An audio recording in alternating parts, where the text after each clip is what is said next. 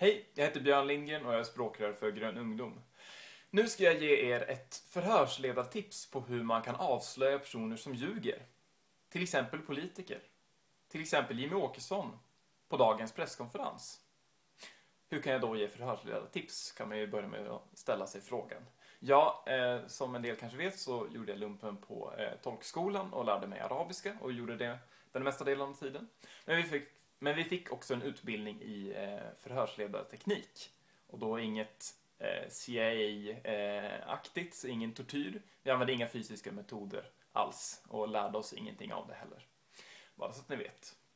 Ehm, men vi lärde oss diverse olika knep för hur man kan avslöja en lögn. Och jag ska avslöja en av de knepen nu. Med det pedagogiska exemplet Jim Åkesson.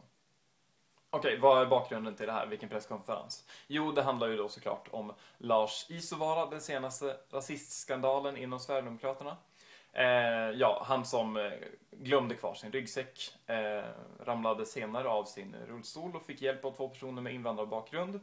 Eh, upptäckte då att han hade förlorat sin ryggsäck.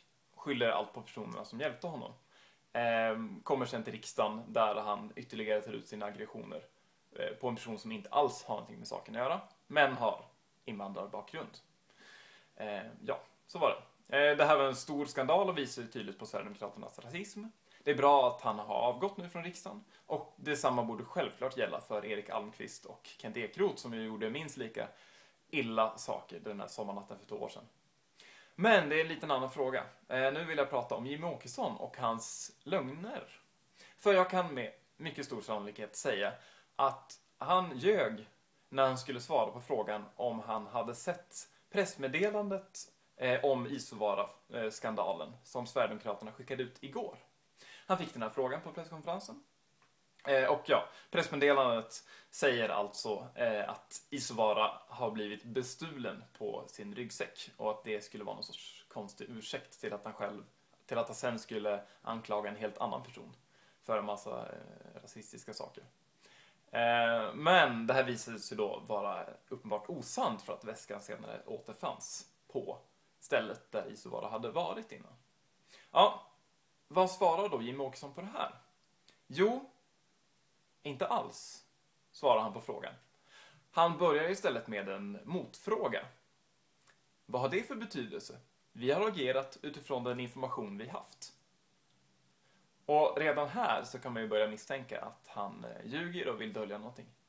För, hade han inte läst pressmeddelandet, då hade han ju kunnat svara Nej, jag har inte läst pressmeddelandet. Men det gör han inte, utan han svarar med en motfråga som inte alls är ett svar på frågan.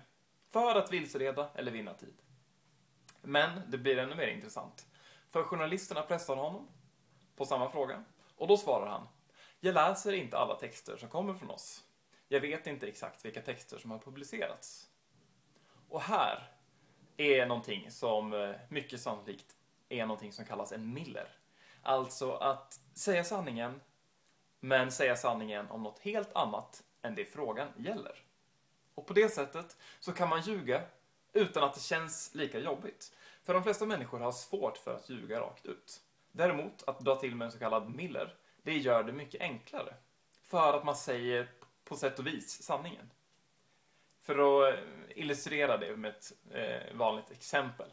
Eh, någon tonåring kommer hem sent, har varit ute och druckit eh, och får inte göra det för föräldrarna. Föräldrarna frågar Har du varit ute och druckit? Och den här unga personen svarar Nej, jag har inte varit ute och druckit. För personen var inne och drack. Alltså inte ute och druckit. Det är en klassisk Miller. Man säger sanningen fast om någonting annat än det man frågar om. Alltså blir det en lögn, skulle jag våga säga. Eh, ja, om vi då ser på vad Jimmie Åkesson sa. Jag läser inte alla texter som kommer från oss. Och det kan mycket möjligt vara sant. Men vad menas med alla texter? Han kanske inte läser alla pressmeddelanden. Så kan det vara. Men det är ju väldigt osannolikt att han inte har läst det här pressmeddelandet om ännu en stor skandal som de är inblandade i och som han just håller en presskonferens om. Det kan vara så att han läser alla pressmeddelanden, men att han inte har läst alla motioner, till exempel, som Sverigedemokraterna har skickat in. om han inte har läst alla dem så blir ju hans eh, uttalande på sätt och vis sant. Jag läser inte alla texter som kommer från oss. Sen säger han så här. Jag vet inte exakt vilka texter som har publicerats. Och där får man eh, fästa uppmärksamheten på ordet exakt. Nej, det kan vara sant att han inte vet exakt eh, vilka texter som har publicerats. Men han kan mycket väl veta ganska bra, eller ungefär, vilka texter som har publicerats. Han kanske har informerats av sin pressekreterare att vi har skickat ut ett pressmeddelande som säger ungefär det här. Ja, med, om det var så, så talar han ju på sätt och vis sanning när han säger han vet inte exakt vilka texter som har publicerats, för han har inte läst det i detalj. Men det är ju lika fullt en lögn. Det är lika fullt missledande.